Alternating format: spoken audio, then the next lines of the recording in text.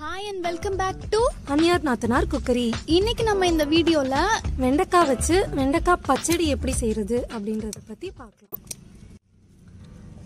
So நம்ம மாடி தோட்டத்துல இருந்து கொஞ்சம் கொஞ்சம் வெண்டைக்காய் வந்து கலெக்ட் பண்ணிட்டு போகலாம்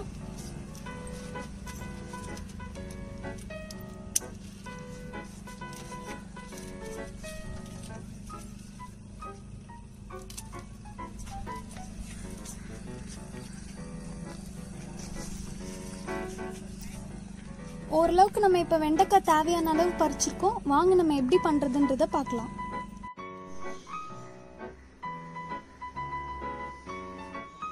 நம்ம இப்போ தோட்டத்தில் விளைஞ்ச வெண்டைக்காயை பறிச்சுட்டு வந்திருக்கோம். பாருங்க நல்லா ஃப்ரெஷ்ஷாக இருக்கு. ஸோ இதை வச்சு நம்ம வெண்டைக்காய் பச்சடி எப்படி பண்ணுறதுன்றதை பற்றி பார்க்கலாம். வாங்க. ஃபர்ஸ்ட் வெண்டைக்காய் நம்ம குட்டி குட்டி சைஸாக கட் பண்ணி எடுத்துக்கலாம். வெண்டைக்காய் பச்சடிக்கு ஃபர்ஸ்ட் நம்ம வெண்டைக்காவை இந்த மாதிரி குட்டி குட்டி பீசஸாக கட் பண்ணி வச்சுருக்கோம். இப்போ ஒரு பேனில் த்ரீ டேபிள் ஸ்பூன் போல் அளவுக்கு ஆயில் ஊற்றிக்கோங்க நல்லா ஃப்ரை பண்ணணும். அதனால கொஞ்சம் ஆயில் அதிகமாகவே ஊற்றிக்கோங்க இப்போ வெண்டைக்காவை போட்டு நல்லா ஃப்ரை பண்ணிக்கணும்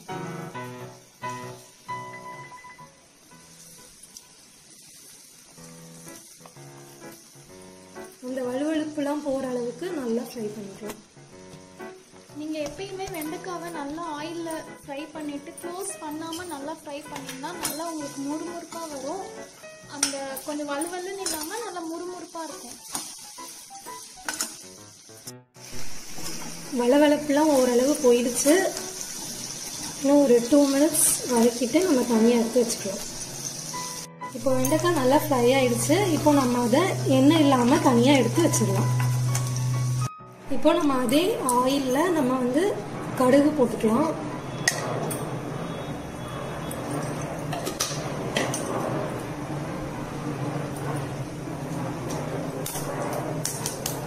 கடுகு பொரிஞ்சதும் ஒரு பெரிய வெங்காயம்.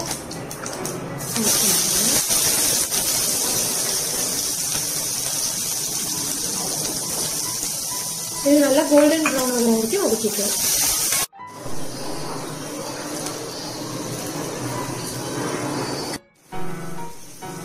நம்ம கொஞ்சமாக கருவேப்பிலை ஆட் பண்ணியிருக்கோம் இப்போ வெங்காயம் நல்லா வதங்கிருச்சு. இப்போ நம்ம ஒரு தக்காளி ஆட் பண்ணுறோம் சின்ன சின்ன பீசஸாக கட் பண்ணி போட்டிருக்கோம். தக்காளியும் நல்லா வதங்குற அளவுக்கு நல்லா வச்சுக்கணும் இப்போ நம்ம ஃப்ரை பண்ணி வச்ச வெண்டைக்காவை ஆட் பண்ணிக்கலாம்.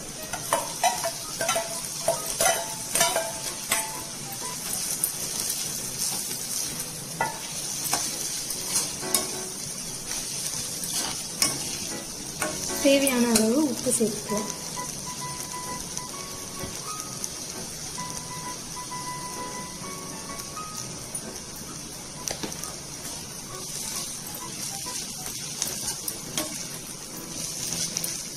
ஒரு டூ மினிட்ஸ் நம்ம வதக்கிக்கலாம்.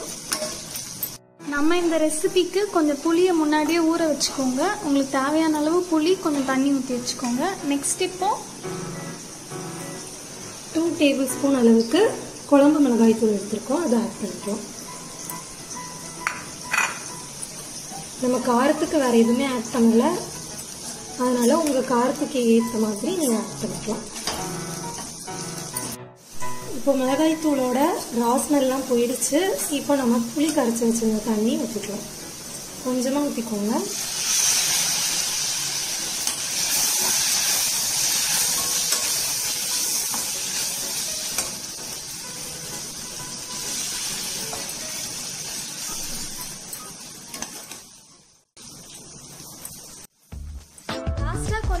hami ko, wait ka